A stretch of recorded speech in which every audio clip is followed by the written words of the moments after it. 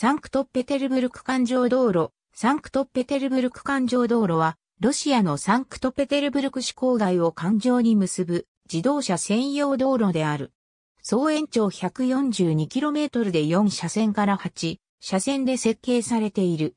ロシア連邦道路の指定を受けており、路線番号は A118 である。サンクトペテルブルク環状道路は1965年に初めて構想が浮上し、1979年に西側のフィンランド湾を横断する区間の工事が始まった。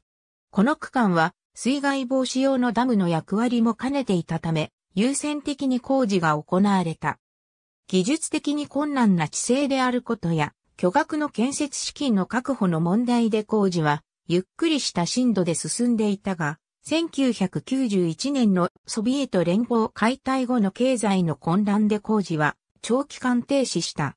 2001年に建設が全面再開されて、翌2002年には一部使用も開始した。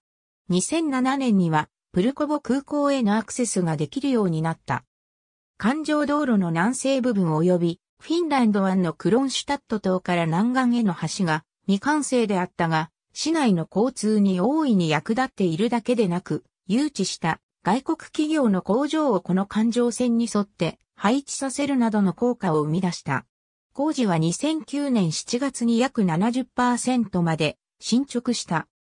その後、建設は順調に進み、並行して建設されていたサンクトペテルブルクダムも完成して、2011年8月にロシア大統領、首相の列席のもとにサンクトペテルブルク環状道路の開通式が行われた。この環状道路の真ん中を北から南へ西高速直径道路が結んでいる。ありがとうございます。